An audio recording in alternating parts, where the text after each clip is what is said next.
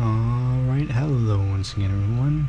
It is I, ILVG, back with yet another Monsters of Etheria video. This time around, it's Thursday night instead of a Saturday morning. Crazy stuff. But for this time around, actually, we have the Halloween event this year, which gives 11 new Eerie skins as of part 1. Part 2 will be bringing in 6 more Eerie skins as well as event exclusive items. Right now, the only skins that are available is Eletoid, Chambrr, Huskot, Duram, and Spectrability, which I do not have yet because I have not used the potion on myself, but of course I will be getting that skin later. Alright, now to begin our skin collecting quest. First thing you want to do, I'm going to go in order of what I believe to be the easiest to the most annoying basically. So first one is how to get Eerie Huskot. You want to grab five pumpkins that grow in the farm patches here. Just walk up to the pumpkin and harvest it. You're going to make sure you need to get five. Then what you want to do is you want to make your way down into the jungle to find one of the machete crafting locations. And here is one of the machete crafting locations right next to the power plant going to want to open up your crafting menu. You will have the jack-o'-lantern recipe, and you will, of course, need to create five jack-o'-lanterns, and after you do that, you will get the Eerie Huskot. Pretty much the same exact task that you had to do to get normal Huskot, this time it's pumpkins instead of coconuts. And that is how you get Eerie Huskot.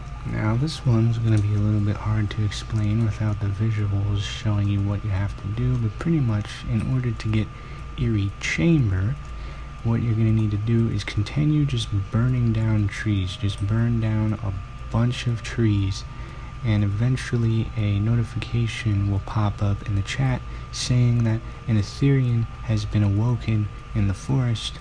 That Etherian is the Eerie Chambrr and what you're going to want to look for is this Etherian. I will throw up an image on the screen. You're going to want to look for that, run into it, and collect it. It basically works like a roaming to where only one person can collect it. Of course, if you already have the Eerie Chambrr, you cannot collect it again and end up trolling other players. And yeah, that's all you gotta do. Burn down some trees, wait for the thing to spawn in, and hope that you're the first one to get it. Now, the next skin is Eerie Spectrability. You're gonna need to find this cauldron here, which will unlock the Potion of Instability craft. But, you realize, oh no, I need a brewing manual. Well, how do you get the brewing manual? Well, you're gonna need to make your way to the Haunted Mansion.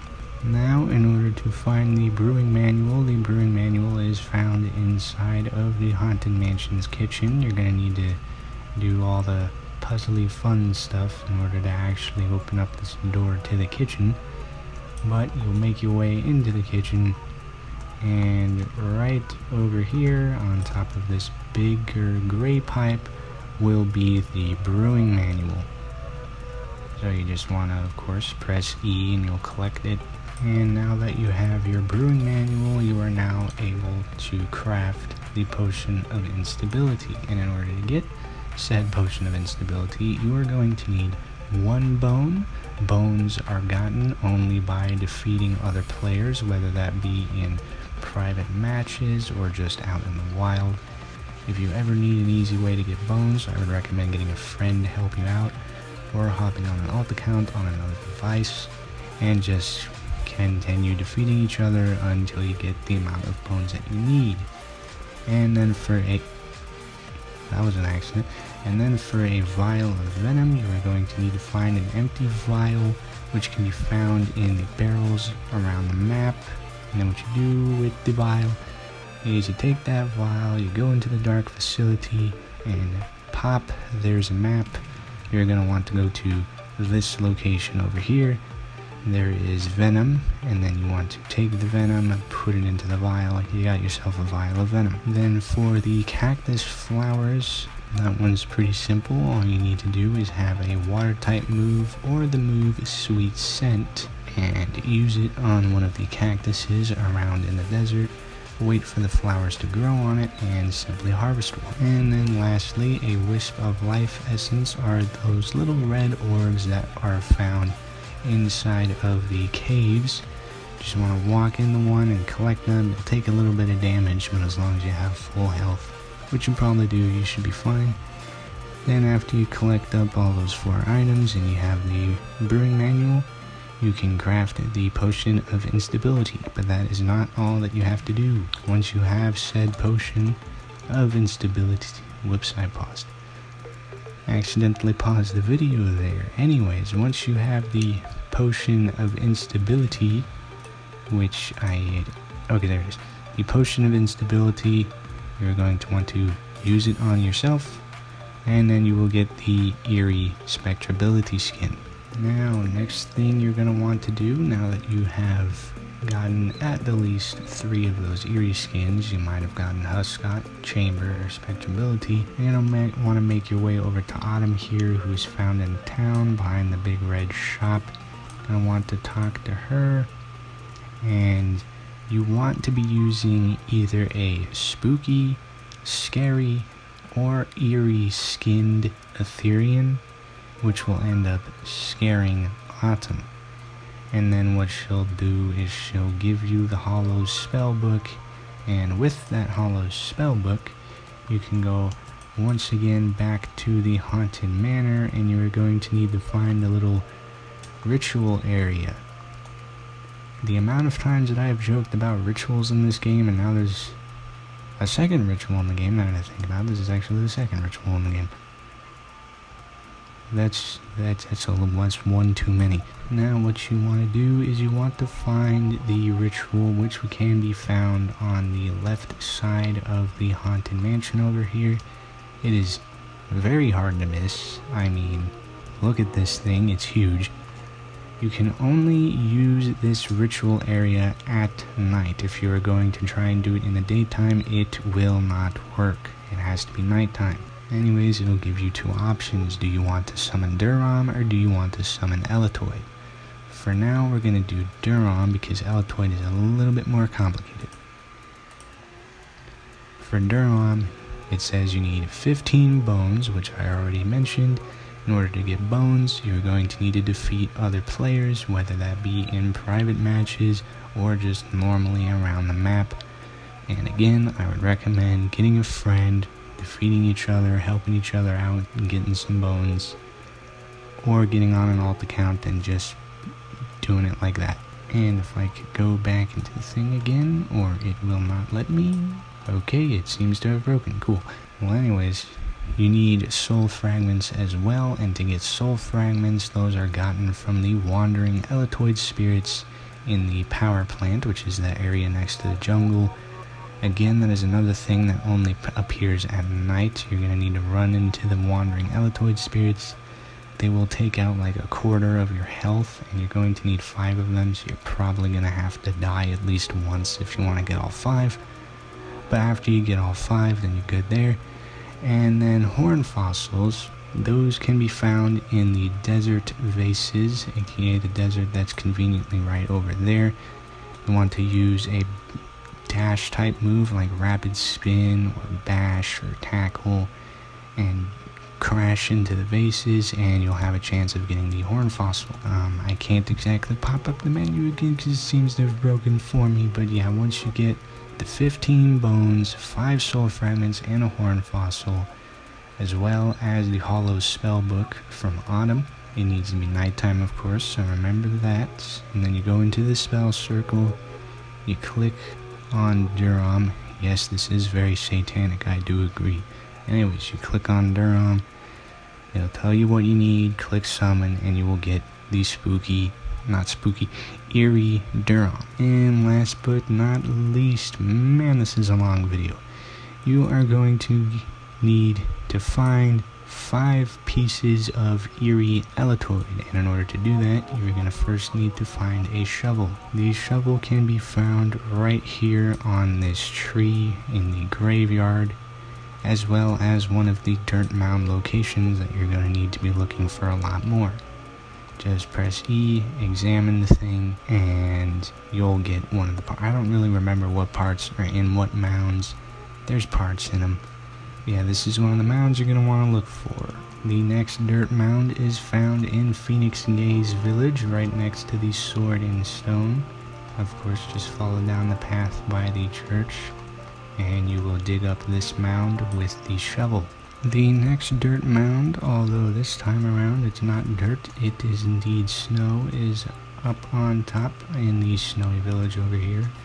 The very miscolored mound of snow. You want to dig that up and get yet another piece of the Eerie Eletoid. The next mound of dirt you might have noticed earlier in this video. Um, it is right here. The power plant is right there. You just want to pretty much walk forward from the entrance of the power plant and the next mound of dirt will be found, if I could zoom in, found right here. Now the last dirt mound, and this time around another comedic joke, is actually a sand mound, which can be found in this abandoned little hut, this uh, Cheeto dust mound in the sand. For perspectives purposes, that is the temple right there, the entrance. Walking out of the entrance, you go right down into here, and right here is the last mound that you're going to be looking for. And now we just make our way back to the Haunted Mansion in this wonderfully laggy desert because my laptop is an absolute potato. Now, once you've made your way back to the Haunted Mansion and back to the spell circle that I forgot the name of this entire time and kept calling it a ritual area, it's a spell circle. Anyways, once you make your way back to the spell circle with all five pieces of the Eerie Eletoid, the torso, heart, brain, right arm, and left arm, as well as a wisp of life, life essence, you will want to summon the Eerie Eletoid in this, uh, I already forgot the name of it again. Uh, anyways, ritual area, and you will get the Eerie Eletoid. Um, I don't think I ever actually mentioned that you need a Wisp of Life Essence for this one. I think I did. Either way, yeah, you need a Wisp of Life Essence, which, again, a Wisp of Life Essence if you want to get one of those, it's the little red circles found in the caves. And yeah, after you get all five body parts, Wisp of Life Essence, put them all together in some weird jump gook, uh, summon the thing satanically, and boom, Eerie Eletoid. And with that, that should be all the skins for part one of this year's Halloween event. And of course, now we move on to the showcase. Starting off here with Eerie Eletoid, a little zombie, sickly looking version of Eletoid, which can evolve into Ghourien at level 45 and Electris at level 45. I will be mutating into Electris. This is Eerie Electris, basically just the same zombie aesthetic. And for Eerie Ghourien, there's an image of it up on the screen. I really like these skins. The next skin is Eerie Spectrability. Another lovely little skin, mutating into Lockspectre at level 70.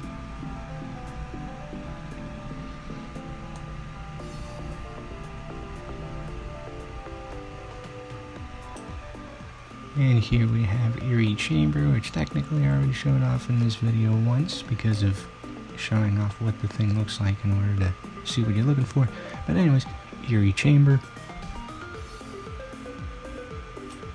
Next skin is Eerie Huskot.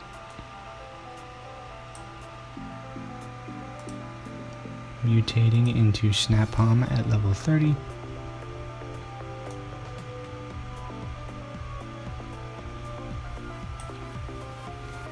Mutating into Cocolossus at level 55.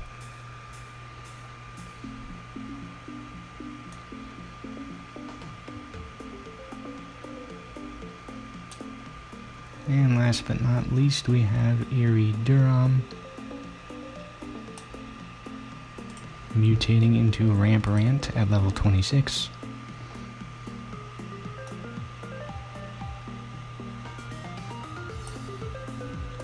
Mutating into Savagaur at level 52.